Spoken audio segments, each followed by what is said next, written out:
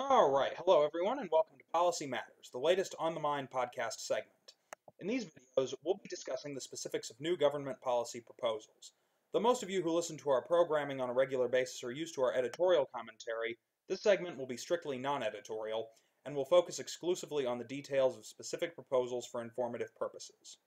For the first Policy Matters segment, we'll be taking a look at the College for All Act bill proposed on April 3rd of this year by Vermont Senator Bernie Sanders with co-sponsorship from several Democratic colleagues, most notably including Massachusetts Senator Elizabeth Warren. This bill addresses two primary goals the provision of free education at all community colleges to students from families of all income levels, and the provision of the same at state public four year universities for students from families with total annual incomes of $125,000 or less. In order to achieve these aims, the College for All Act proposes a division of the cost of education between the federal and state governments. Under this act, the federal government would provide two thirds of the cost of college tuition for students, with the remaining one third to be provided by the state in which the college or university is located. According to a press release issued by the office of Senator Sanders, the two thirds of tuition provided by the federal government would amount to an annual expense of $47 billion. Also included in the bill is a substantial restructuring of the existing federal student loan program. Under the terms of the College for All Act, students seeking new federal loans would be able to secure them at an interest rate of 2.32%, as opposed to the current rate of 4.32%. Students with existing debt secured originally at higher rates would be allowed to refinance at the new 2.32% rate.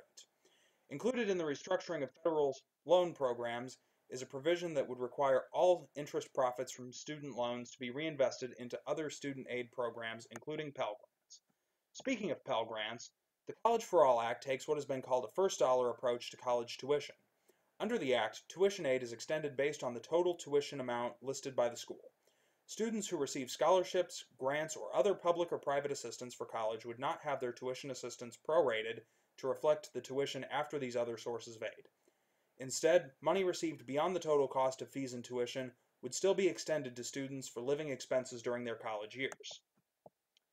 The Act also addresses the process of applying for and receiving financial aid by streamlining the application process and eliminating the requirement for students to apply for each year of college separately.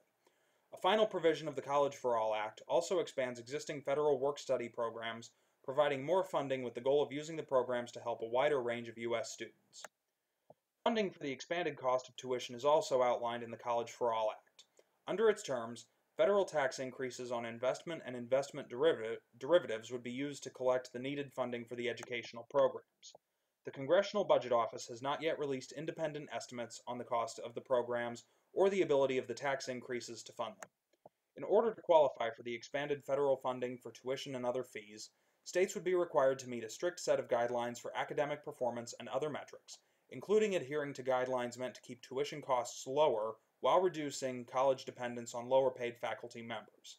States would not be able to use federal money to fund merit-based scholarships or the salaries of administrative faculty members. The newly introduced College for All Act bears substantial similarities to a bill of the same name also introduced by Senator Sanders in May of 2015. At the time, no senatorial colleagues co-sponsored the bill's original incarnation. And that, my friends, is the College for All Act explained. Thank you all so much for listening to our latest segment. If you liked this format, please give us a like, subscription, and comment on YouTube to let us know, or share our video on social media with your friends and family so that other people can learn more about the provisions of the College for All Act. Thank you so much and have a great day.